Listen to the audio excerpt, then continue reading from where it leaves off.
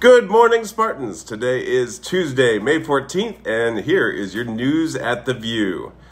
Today is National Dance Like a Chicken Day, so let's fling those wings around and bust out our best chicken dance moves. Also, after school today, don't forget we have Project Success and Broadcasting Club. There is also going to be an important Google form in the email with announcements and also on the News at the View Google Classroom if you are at Southview or Northridge and would consider being a part of a bowling team or an esports team next year, make sure that you fill out that survey to see if you're interested. This is the chance to play video games as a sport. What? Make sure that you get your opinion in and so your voice is heard. So maybe next year you could be on the team.